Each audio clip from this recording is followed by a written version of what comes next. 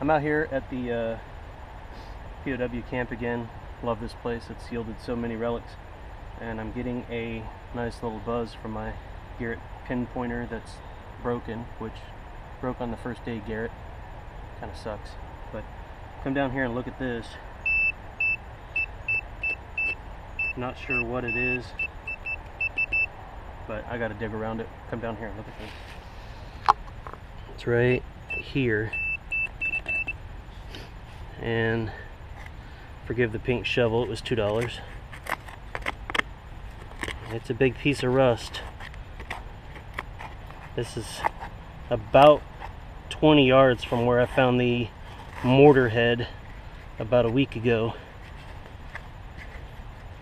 And I've been really careful not to uh, dig my shovel in.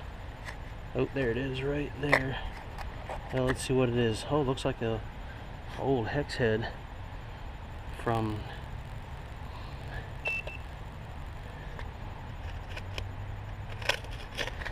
from a big piece of machinery.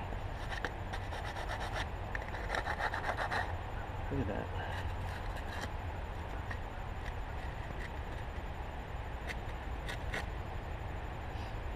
That's a really weird find out here. Well, I thought this place was an old motor pool at some point. And uh, I've dug up stove grates out here. I've dug up a party of Budweiser cans. That is unique. That's cool. I've never dug up one of these. Still got the threading inside here. And some sort of flange to help assist it, I guess, once it uh, stops turning.